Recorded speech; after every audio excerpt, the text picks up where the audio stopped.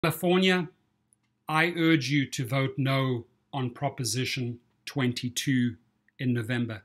Don't fall for those $220 million campaign by Uber trying to buy your vote.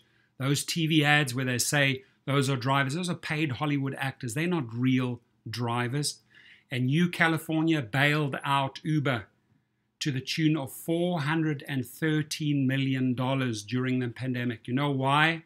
Because it's people like Stephanie Tomal Vitale and her gang of attorneys and Uber that keep on misclassifying drivers. They don't, uh, uh, they don't give them their health benefits. They keep the earnings down. They deny them a voice, right?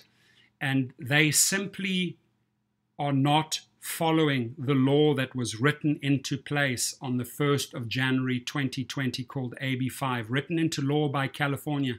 Stephanie and her gang think they're above that law. They can circumvent the law so that you have to bail out the driver each time with your taxpayer money. That's wrong, right? That type of conduct, attorneys get disbarred over that. These attorneys should be disbarred here in California and elsewhere.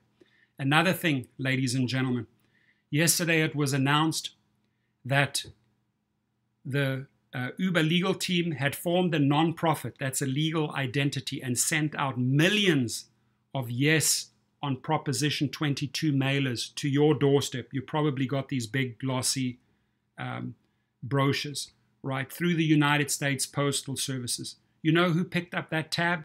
You did, the California taxpayer, because they found a loophole and put that through a non-profit so that you had to pay for that campaign. That is the cheek that Stephanie Tomal Vitale and her disgraced Uber attorney and counsel crew have.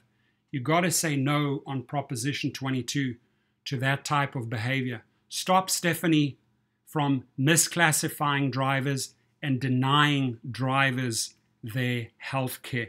Very important. Now, Stephanie and her crew, you know, they have their patents uh, registered offshore with Uber so that they pay zero cents into the US system. They use the bridges, the highways, the streets, the freeways and they contribute zero. Stephanie and her Uber crew, every month when they declare their numbers quarter after quarter, it's billions of losses after billions of losses after billions of losses. They never turned a profit once, but yet they take these supersonic salaries. Dara Khosrowshahi gives himself 40 million plus dollar salary, and they keep on screwing over the drivers. We've had enough. Stand with us, California. Um, another thing, these um, companies by again misclassifying drivers free up millions and millions and millions of dollars for themselves and investors, right? So I say to Stephanie, I have a parting message for you. I'm looking you directly in the eyes. As you go out there on the streets, once you've abandoned the sinking ship, the Titanic called Uber, you'll be knocking on new law firms' doors and looking for a job. I ask those law firms, I hope you have some ethics, morals, and values when you pick your attorneys, right? And you look at her tainted past and you look at what she and her gang have done to drivers and say, you know what? Sorry, we cannot hire you. And you kick her out the door and she's back on the street. Deserves no more than that, right? So, California, stand with drivers and vote no on Proposition 22. Thank you.